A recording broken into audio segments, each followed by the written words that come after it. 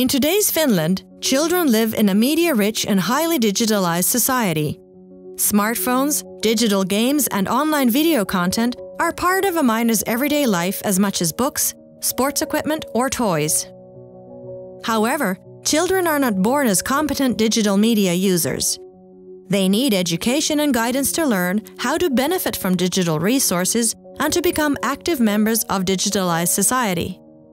In the Finnish national curricula, digital aspects of literacy are widely included, from early childhood education right through to pre primary and basic education. To further support nationwide equality and each child's right to learn, the Finnish Ministry of Education and Culture launched the National New Literacies Development Program. In practice, the program is carried out and coordinated by two governmental agencies the National Audiovisual Institute and the Finnish National Agency for Education.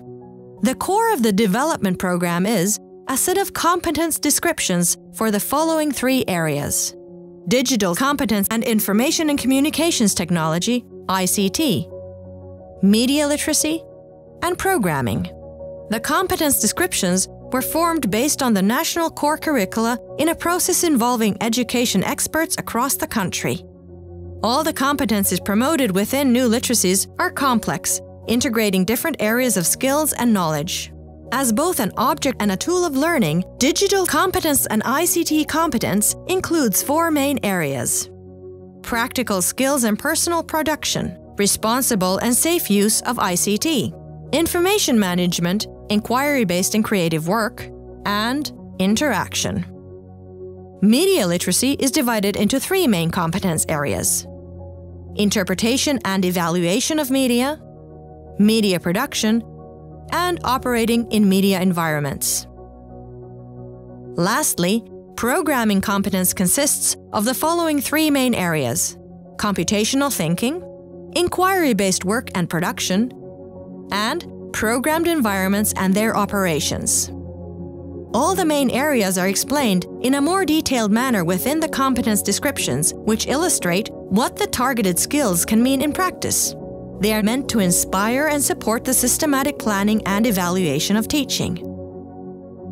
The descriptions also demonstrate how these competencies accumulate through early childhood education, pre primary education, and the different grade levels of basic education.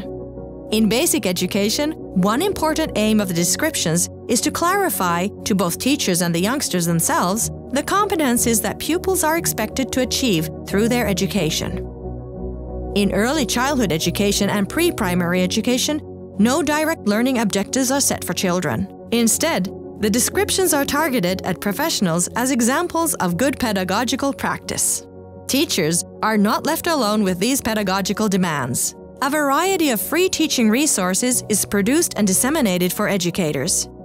The resources are designed to inspire and support teaching aligned with the competence descriptions. Many of these resources also serve as in service training material for teachers. The state distributes grants to Finnish municipalities to promote digital competencies. Piloting allows the description's relevance and usability to be evaluated throughout the program. The local pilot projects are cooperating with the coordinating governmental agencies. The aims of the cooperation include the following to further develop the competence descriptions, to raise awareness of the importance of these competencies, to support the implementation of the competence descriptions into local curricula and teaching practices. All the resources produced in the New Literacies Development Program are published openly online.